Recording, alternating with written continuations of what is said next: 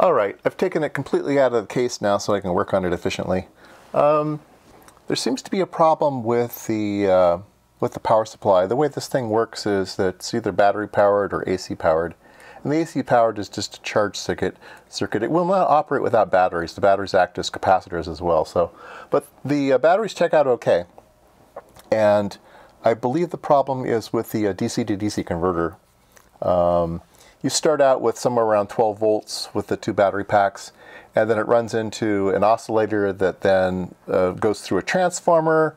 Um, so it, it changes the DC of the battery into AC, and then it goes through a transformer, and then it goes through regular regular power supply. So we can we can sort of take a look at this up here. Let me rearrange the camera. All right, so here's the AC that comes in. It gets rectified. It goes into the batteries. There's two batteries in series, so it ends up being 12 volts. Um, and then the 12 volts runs into uh, uh, into this section, which is an oscillator. So this oscillates, and then these are the push-pull onto the uh, coils of the transformer. So it's uh, you know positive, negative, positive, negative. Um, and then it gets uh, turned into the voltages that you need. It turns into plus five, minus five, uh, and then there's a section here that gives you 1,000 volts, uh, 65 volts. So when I first got the instrument, uh, it didn't work, and I started measuring some voltages. I did get 65 volts, and I did get the plus and minuses, and then I, I measured like minus 900 volts, and and then it stopped working. And now it's just giving me really, really awful voltages. And um, this section here is not working well. Um, there's nice, uh, uh, probably hard to see on camera here, but there's nice waveforms on different points here. It's kind of difficult to figure out where, the, where they mean these points to be. They should have had little arrows, but um, I think I can figure out where the where where they mean.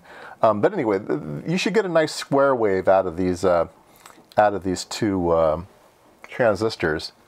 And I'm not getting a square wave at all. Uh, when I first looked at it, I was getting a uh, a ringing high and then a ringing low and then a ringing high. There was like a high high uh, uh, frequency modulated on top of it, and then it started to kind of oscillate it here and then oscillate. It, it was just goofy, and now it doesn't seem to. This transistor seems to be getting hot. It, it it's just weirdness.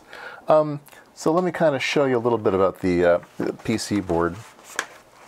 Uh, so these two transistors here are the big push pulls.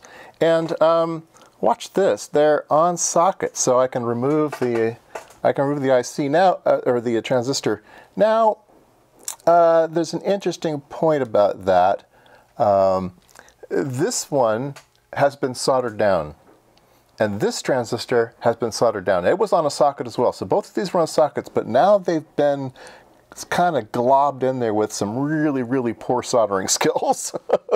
and they look just awful. And uh, this is the one that's getting hot.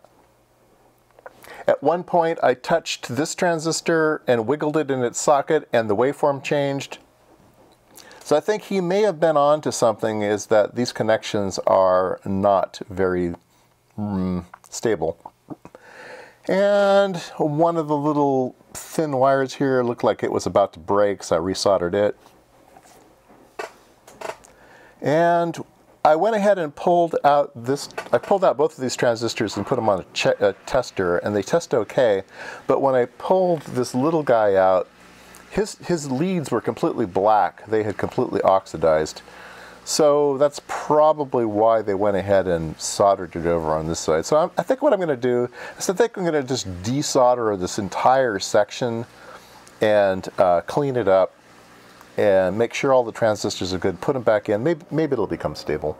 I'm not sure. Okay, so I've reworked this whole section here. I have these um, these little uh, gold uh, sockets, um, one pin one pin sockets, and I've I've put those uh, where all of these transistors are. So they all have brand new sockets and they're all gold. And everything is making good contact now. There was some pretty dodgy things in there. Um, and now it just doesn't work at all. so these transistors aren't turning on at all. Which means uh, most likely it's these two little guys here not oscillating. So they should oscillate and then pull these guys. Um, so I'm not sure which one's not oscillating and why it's not oscillating. Um, maybe there's still a cold solder joint or something in there. Uh, there are some capacitors in here that maybe I should replace, like that one there. Uh, I, I don't know yet. So anyway, um, yeah. So nothing, uh, nothing's going on now. These these collectors are high, but the um, emitters are never getting pulled down, so nothing is oscillating. All right, so I found a cold solder joint, not cold solder joint, it just was not filling in very well. Um, and so I fixed that. So let me show you this. Uh, you, you, can, you can uh, just look at the collector of these transistors because the collector is the case. So uh, I will I will show you what's going on now. I'm actually getting a, a waveform. I'll take a couple pictures here to make it look better. Um, so it looks as though it um, is oscillating now, but it has that ringing that I described earlier. So um, I kind of back to square one. I've kind of fixed all the things that need fixing, and I think it's back to probably the best it's been in a while. And now I need to figure out why is it have that high frequency oscillation. The, the big excursions are correct, the timing is correct and everything. And so now I need to figure that one out. So let me show you the schematic here. I haven't really entirely got this circuit figured out yet. Let me show you. All right, we have uh, a, a 9 volt Zener here, and uh, I think that just regulates the uh, voltage. Um, let's see, it would keep some voltage. Maybe that feeds back into the other side.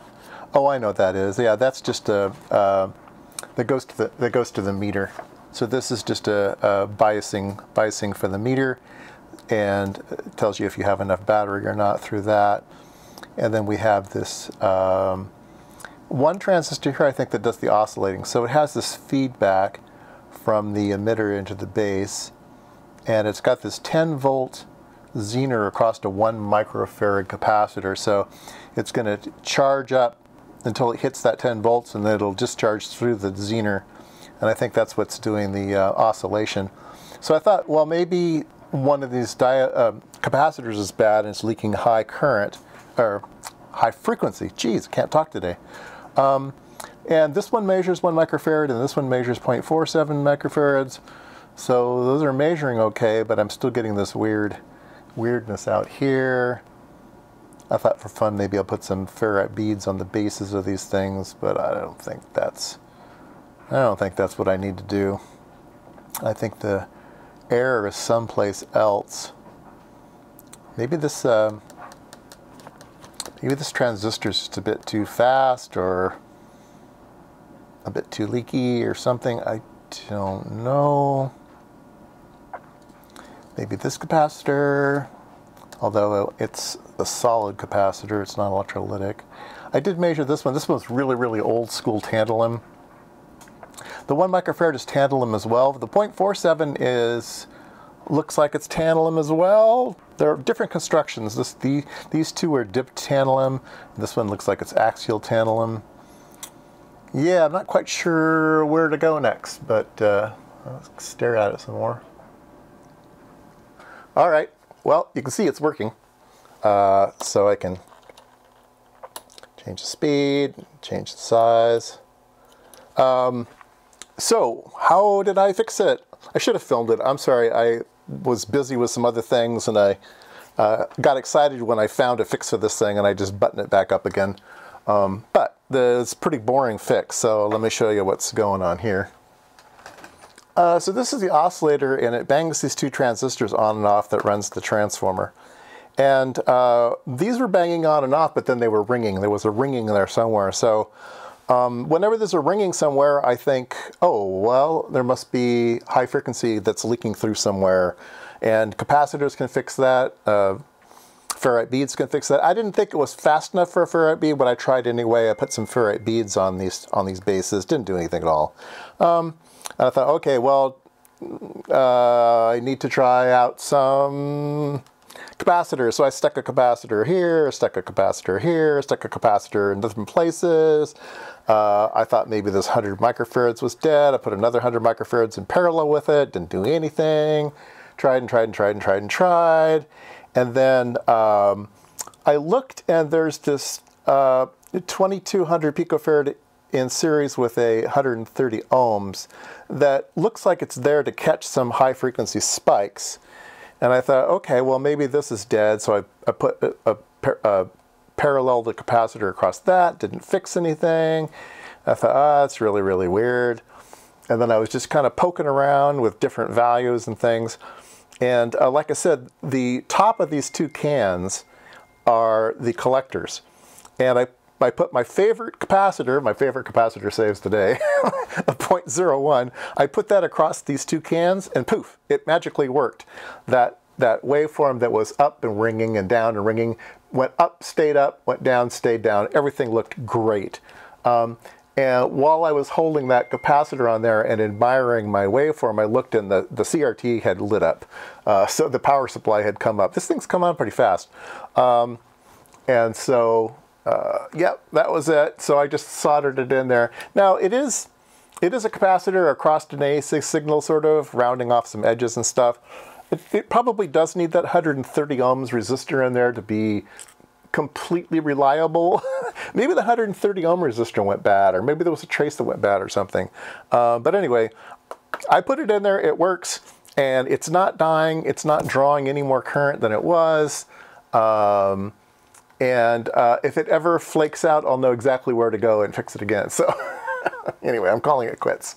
I'm, I'm, getting ready for a trip. I'm going on a, on a vacation. So uh, I wanted to sort of get this out of my mind while I was on the vacation. I wanted to crank it out. So anyway, there you go. Uh, it is super cool. Uh, it's got, uh, let's show you some stuff here. All right, so this is the intensity knob. Uh, this is uh, variable volts per division. Uh, this is horizontal sweep change. I think uh, they call it magnification, makes it bigger. Here's position up and down and position left and right. And so, yeah, all of the all the knobs work. This is a power knob. There's internal triggering, external triggering, which comes through this little banana jack here. I have it on DC triggering. Um, it wasn't auto triggering correctly. This little adjustment here for auto trigger that I tweaked and now it works fine. Um, so yeah, there you go. A uh, Tektronix 211 oscilloscope, single channel. Um, I don't know. I think IMSAI Dog will enjoy it.